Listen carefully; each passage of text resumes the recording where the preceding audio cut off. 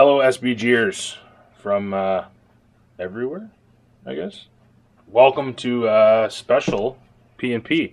Um, it is actually my birthday today, so gonna do things a little differently. Uh, it will not be a pint today because it's my birthday. I've decided to go with a fine Canadian rye whiskey.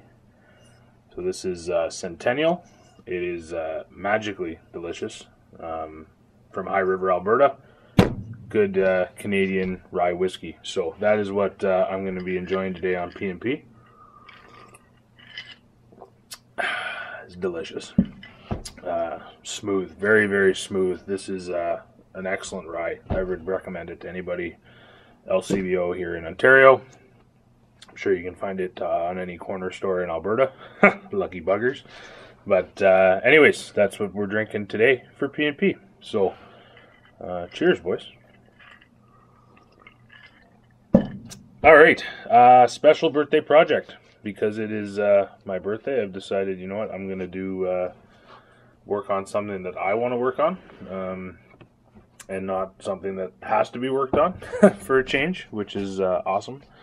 Um, you know, we got a lot of events going on, so obviously there's a big push to get miniatures, terrain, things of that nature. But uh, since it's my birthday, I figured I was going to uh, play with something that uh, a good friend of mine was able to get for me to complete my collection. So uh, I had a little bit of help from uh, my little girl, the uh, Shield Maiden of Glenwood. So um, we went for a little walk this morning, got a couple, picked out some perfect stones for the base. So I've used, actually, I'll show you here shortly, and there will be pictures at the end, but a large Flames of War base uh, for artillery pieces and the like, just to make a little display piece. Uh, got some stones on there, and it is a Gimli model, and uh, it's actually my favorite model of the range. So that is uh, the current birthday project. So just doing a little uh, sort of vignette with it.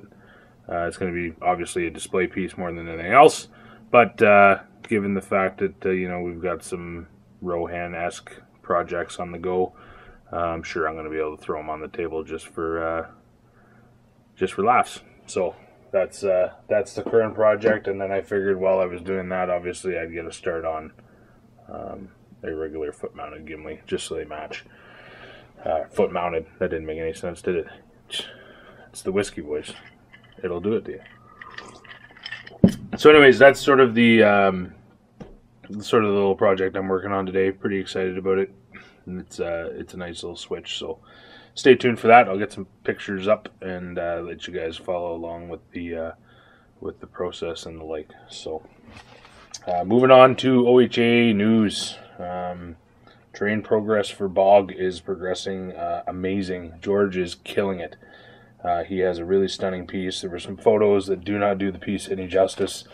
Last episode, there'll be more this episode. Um, a lot more impressive, great sense of scale just really impressive piece. If you didn't see the uh, the pictures from last week, it's it's basically it's the front gates of Edoras, um, which is going to be awesome. So we're going to be running a scenario here at Bog, basically a um, uh,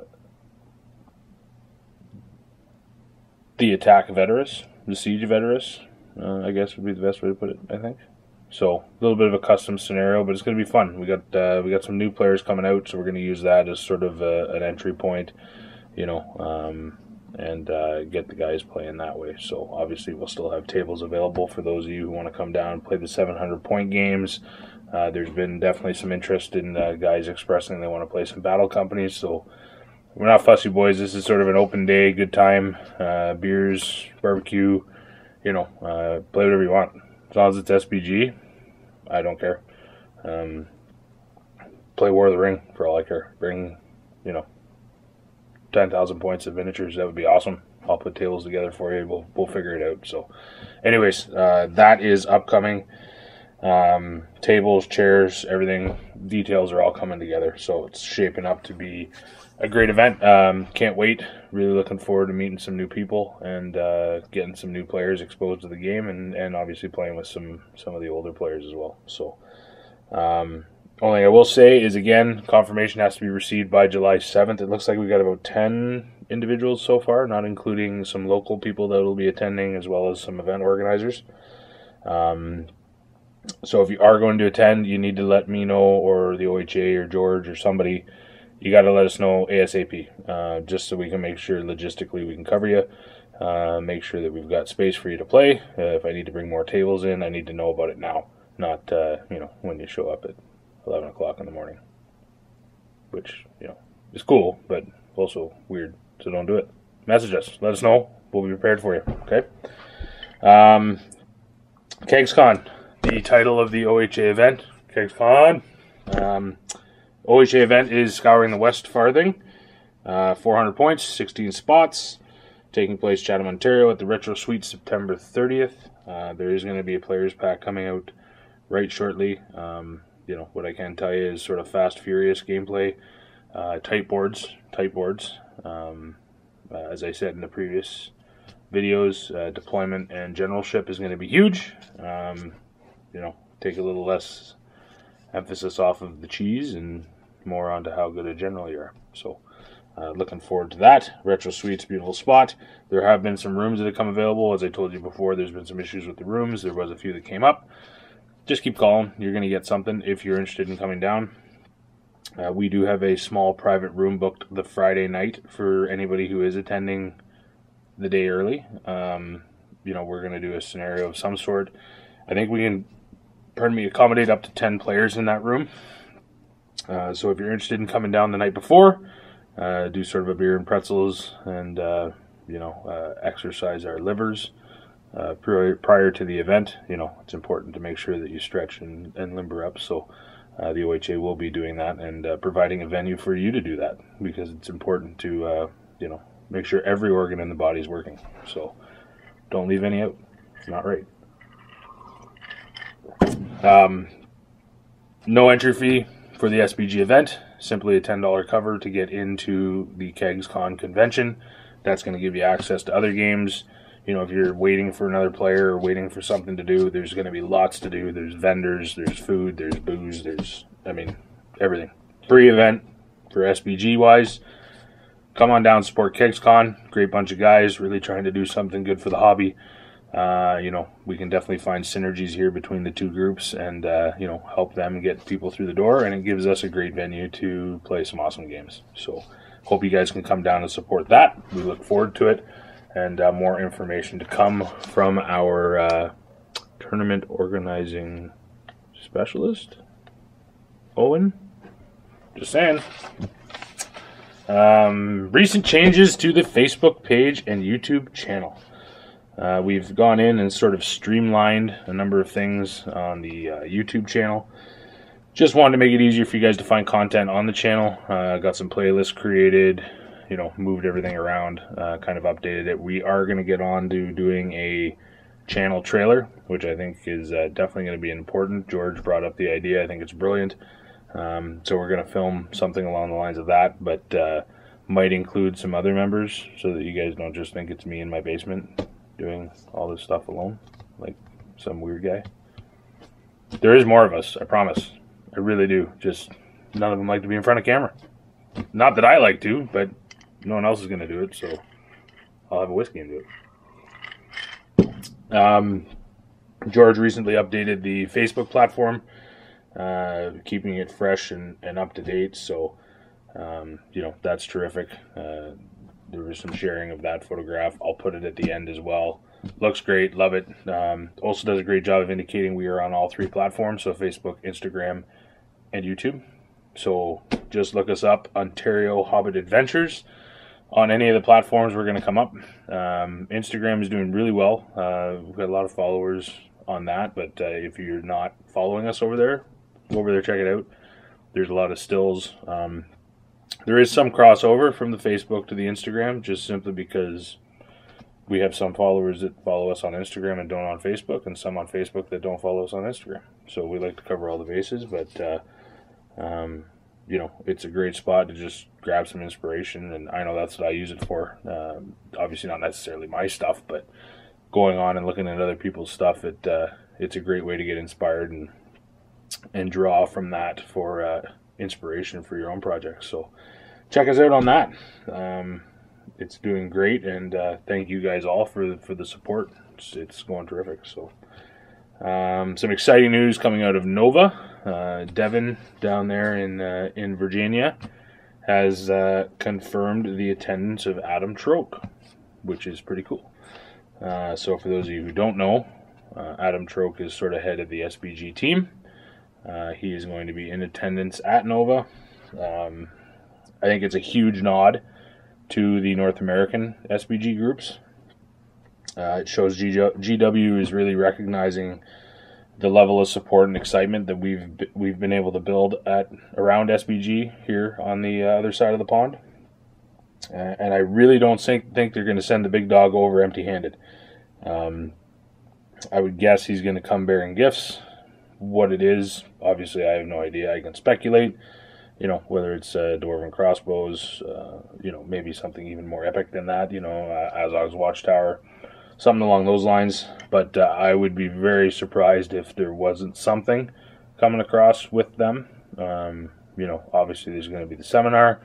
I would imagine the seminar is going to be kind of along the same lines as the one that we saw at a Warhammer Fest, but um, I would say it's it's definitely an opportunity for them to capitalize on momentum in the North American market to bring over some sort of new release. Um, you know, something exclusive to Nova. Uh, you know, that's going to quiet down some of the voices that have been expressing discontent over the fact that uh, everything gets released to the UK first, and rightfully so. I mean, they're right there; that's their home base. I mean, that's uh, it's not something that I personally have a problem with, but I do know there is people that are upset about it, and it would be quite cool to get a Nova or North American exclusive, um, and be able to get some stuff posted on the internet before those dirty, limey Brits. Just saying, be nice for for like Canadians or Americans to have it on the Facebook first. Stephen Crow can take a back seat for a minute. Does great stuff. Not not knocking them at all, but uh, it would, would be nice for us to get a, a first kick at the can, so to speak. So um, can't, I can't wait to attend. Uh, everything's locked in for that. Uh, I'm going to be attending with uh, Evan and Antonio from the OSBGL, uh, heading down on the Wednesday night to stay. Uh, really looking forward to it, especially with this announcement. Um, you know, the momentum of the hobby is amazing. Um, really looking forward to meeting uh, some of our American counterparts and, um, you know, see how we as the Canadian team can perform. I know Antonio is just coming off a recent victory at Fog. I think he took first place, if I'm not mistaken. So, uh, it's going to be a good time. Really looking forward to it. For those of you who are watching that will be in attendance, come and find me. Love to do a, uh, you know, whether we do a quick video or even just chat, catch up. Uh, you know, come introduce yourself. Don't be shy. Um, you know, uh, I'm there more so for the social aspect than anything else. Um, if there is a bar, uh, I'm probably going to be in it at some point. So find me there. Maybe the table playing, but I'm probably just going to be a pylon the entire weekend because competitive wise, I don't play a lot, but I'm going for a good time. So, looking forward to it. Uh, Articon SBG International uh, title keeps getting longer every time I check on that site. Uh, anyways, really impressive looking event. Last year, uh, we had some boys from Canada attend. Uh, I believe uh, Adam Marcel, uh, Evan Woodruff. Um, you know, there was definitely some people there said nothing but good things about it. Um, James Clark is sort of championing this project. Uh, he's a member of the GBHL. I'm not sure of other involvement from other people. It, it seems to sort of be a one man show, which is completely crazy to me. Uh, if I'm wrong on that, please don't take offense. Just I don't I don't know if you're if you're helping or, or taking part. It just seems to be coming from James. So, um, recently featured on the Warhammer community site, which is awesome. Uh, great that they're giving that platform to uh, SBG events. Uh, you know, that's something that uh, the changes that are occurring at GW are, are you know tenfold incredible. Uh, you know, that's that's all good stuff. So the fact they're getting engaged, supporting events like this, uh, driving it, you know uh, clearly, somebody up there has got their head screwed back on straight, um, as opposed to the dark days. So let's all just take a minute and remember the dark days to those who have fallen. Anyways, they're over. It's done. That's it. So, um, help them out wherever you can, even if it's just spreading the word. Um, you know, online, liking, sharing, subscribing, whatever. Um, support your Hobbit hobby, guys. Um, hope everything goes off uh, well, and to all the Canadians that uh, are going to be in attendance, um, give those Tommies what for. That's it. Uh, jumping way onto the other side of the pond now. Uh, Middle Earth Masters in Australia, July 1st and 2nd. I'm new to following that group. They've got some really cool content, really cool people. Um, you know, the engagement and discussion is uh, is awesome. Um, I would I would rate the OHA at sort of a PG thirteen. Uh, the Australian group is not PG thirteen. No, um, it is definitely for the more mature SBGer. So let that be a, a, warning to those of you who have small children that watch this. I try to keep it, you know, as relatively uh, non-offensive as possible. Um, not that the Australian side is offensive, just you know maybe a difference in language uh, between here and there, and what's maybe acceptable and not acceptable for children. But uh, anyways, cool site. They're in preparations for a great big event, the Masters. Um, been following some of the painting that's been going on. There's some really uh, skilled hobbyists out there, so check them out at Australian LOTR uh, and Hobbit SBG community. Uh, and that is a Facebook group. Not sure if they're on Instagram or YouTube, but uh, anyways, check them out. So, um, as for PNP, man, that's it. That's all we got. There's uh, there's nothing else. I'm gonna go and enjoy my birthday. Uh, I'm gonna do a little bit of hobby time, work on some Gimli. Uh, really excited to be painting an axe embedded in the nervous system of an Uruk-hai. I mean that just for Friday morning or Friday afternoon. That's awesome, right? Um, and as always, thank you guys very much for the support. Uh, it drives us to keep doing what we're doing. Um, you know, I know uh, OJ, George, Costa, Evan, we're all very thankful for the uh, support, the interest, the likes, the views. Um, it's all great, and uh, you know, it keeps us motivated to keep current and up to date. And uh, we appreciate all of uh, all of your commitment, you know, for tuning in every week or, or following the videos and checking us out. So. So thank you very much, and uh, happy hobbying. We will talk to you uh, next week with the next episode of P&P. I'll probably switch back to pints, but for my birthday in the meantime, cheers, boys. Here's to you.